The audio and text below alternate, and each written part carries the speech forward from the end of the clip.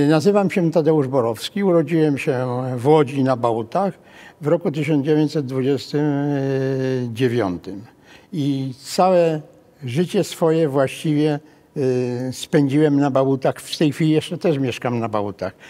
Nie było mnie jakiś czas w Łodzi, no ale, ale cały czas y, mieszkam na Bałutach. Chodziłem do szkoły też na Bałutach na ulicy Sędziowskiej. Ta, ten budynek szkoły do dziś jest, stoi.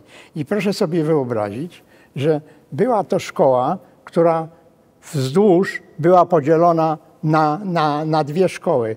Y, strona zachodnia była szkołą e, niemiecką, Niemcy chodzili, a strona wschodnia szkoły y, była szkołą polską. Natomiast y, jeżeli chodzi o boisko, no to wspólnie i Niemcy, dzieci niemieckie, dzieci polskie razem na boisku się bawiły. Czyli byliśmy, byliśmy z tymi Niemcami kolega, kolegami. Z tym, że do szkoły, do klas polskich chodziło też kilku Żydów mieliśmy w klasie. Także Żydzi też chodzili, do, bo Żydzi byli tak zasymilowani, że, że Żydzi uważali się właściwie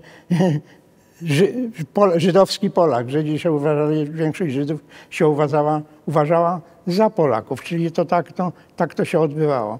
Żydzi to nie był jakiś monolit.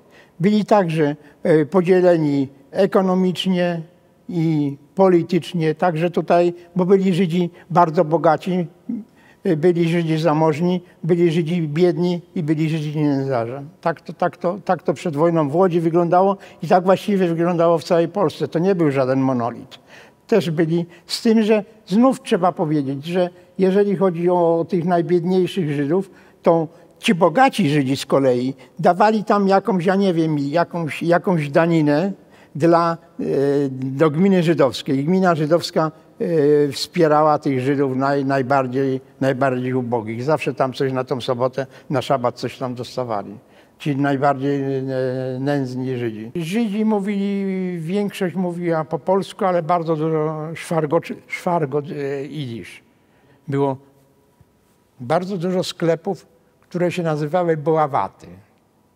Były takie sklepy buławaty. Co to za sklepy były? Ano to były sklepy, teraz byśmy powiedzieli, że to były sklep, byłyby sklepy, jak te sklepy teraz byśmy nazwali, z, z różną odzieżą, konfekcyjne, różne tak da, i tak dalej. Wszystko można w tych, w tych bołatach kupić. Były to sklepy i tych sklepów, tych bołatów było, było, było, było dużo. Tych bołatów Żydzi to prowadzili. Ale na rogu y, z, z Gielskiej i Bałuckiego rynku był dom drewniany, gdzie był też Bławat Polski się nazywał. Także, ale e, znów, i to rzecz, e, było to tak, że jeżeli chodzi o sklepy żydowskie, to byli przed sklepami Żydzi, też tak zwani naganiacze. Co oni robili? No jak się przychodziło, to zachwalał, żeby wychodzić do sklepu. Czyli to się tak odbywało. Naganiacze. Było tak, że można było sobie rano w takim sklepie bławatnym wybrać materiał na garnitur i obstalowało, zmierzono jaki ten garnitur miał być i na wieczór ten garnitur był gotowy. Ale ten garnitur nie był szyty w Łodzi, tylko w Brzezinach. Takie lekkie wozy stały na ulicy Żydowskiej, teraz ulica Bojowników Geta się nazywa, i nawet z jednym czy dwa garnitury z materiałem leciał ten wóz do Brzezin. Tam było czterech czy pięciu krawców. Jeden szył to, jeden to, jeden to, jak było wykrojone i, trzy godziny, cztery powstawał garnitur. Garnitur był przywożony do Łodzi i do Bławatu człowiek szedł. Wieczorem już miał nowy garnitur. Tak to się odbywało. Polacy i Żydzi, i tak jak ja pamiętam, no, yy, koło nas, to żyli w takiej, yy, mogę powiedzieć, wielkiej przyjaźni. Proszę sobie wyobrazić, że na weselu moich rodziców to byli Żydzi, dwie czy trzy rodziny żydowskie, ja nie byłem, bo nie było mnie na świecie wtedy, y, y, które, y, które by, przyszły małżeństwa żydowskie, przyszły na wesele u moich rodziców, byli na weselu u moich rodziców. I była też Żydówka, która mieszkała po 75, Hanna. Ona miała dwóch, Dawidka i, i Salkę. I ja się, z nimi, ja się z nimi bawiłem i na nią też mówiłem mama. Ja mieszkałem yy, trzy lata przed wojną na takiej krótce, krótkiej uliczki w Julianowie, właśnie to Julianów Konarskiego się nazywała. I przy Zgierskiej i Żydzi szli, proszę sobie wyobrazić, to, to chyba była jeżeli, to chyba musiała być niedziela, z parku y, Julianowskiego, bo to był 38 rok, bo w 38 roku park Julianowski został przez miasto kupiony od Hanslów, to były nagonki na Żydów, na Żydów rzucano kamieniami, w ogóle dziesiątki Żydów szły do swoją dzielnicę, to na, na, na, Stare Miasto, bo to była dzielnica żydowska na Starym Mieście. Szli na Stare Miasto, czyli to były rzeczywiście nagonki kamieniami, rzucano na Żydów, raniono Żydów.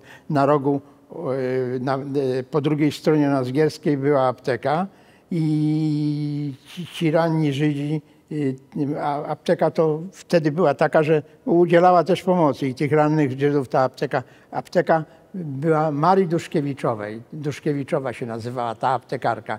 I oni tam tych Żydów opatrywali, rannych, rannych Żydów. To, to, to pamiętam, takie, takie były nagonki na Żydów. No, z drugiej strony były też endecja, nie kupuj u Żydów, swój do swego. Tak to, tak to było przed wojną. No ale y, ludzie i tak, to, to niewiele działało, ludzie kupowali. Dlaczego? Po prostu dlatego, że u Żydów można było taniej kupić jak, jak, jak, jak, jak u, u, w sklepach polskich. Jeżeli chodzi o, o przed wojną, przed wojną, tam gdzie, gdzie ja mieszkałem, to, to właściwie yy, a, a, ja mieszkałem już w Julianów, Bałuty Julianów, czyli tam było E, no, taka dzielnica, gdzie dużo było też Niemców, to, to Żydzi w ogóle rozmawiali z Niemcami, były takie, jakby to powiedzieć, no może nie braterskie, ale, ale zupełnie, zupełnie, zupełnie przyzwoicie, zupełnie przyzwoicie, przyzwoicie to było. No przecież na tym rogu, gdzie ja mieszkałem, to Polak Katyński, on parasolki robił.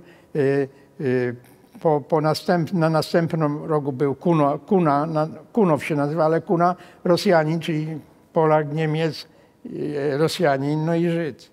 A, a po, po, jednej stronie był Niemiec, Biguś się nazywał, który miał sklep spożywczy. Czyli to tak, tak to wyglądało. Wszyscy, wszyscy, wszyscy, wszyscy razem tak jakoś yy, żyli, żyli w miarę, w miarę w zgodzie. Ojciec wiózł do Wilna samochodem raz w miesiącu cukierki. Ponad pół tony tych cukierków e, kładł. Te cukierki były owinięte w workach, w paczkach i co się okazało? Do Wilna to kawał drogi jest z Łodzi. Ja, ojciec kiedyś mnie zabrał, to był 38 rok, ja byłem małym chłopakiem. Ojciec mnie do, zabrał tam i po drodze do różnych sklepów, takich małych sztetlach, Yy, przez takie małe sztetla się przejeżdżały, gdzie były sklepy żydowskie i ojciec po paczce, po dwa, yy, po kilogram to było, tych, tych cukierków sprzedawał w tych sklepach żydowskich. A i no i było tak, że Marian, ja dziś nie mam teraz pieniędzy, będziesz jechał z powrotem, to, to, to wstąp. No, na karteczce ile tam. I ojciec yy, wstępował i, i, i, ten Żyd zawsze dawał. Ale ja mówię, tata, dlaczego do polskich sklepów? Bo Polacy oszukują. Tak to było. To ja, ja to pamiętam do dziś. Tak to było. Polacy oszukują. Do Polak, z Polakami nie handlował. W Wilnie też y, y, dawał to wszystko do żydowskich sklepów, tylko Żydami handlował. A przecież nie byliśmy Żydami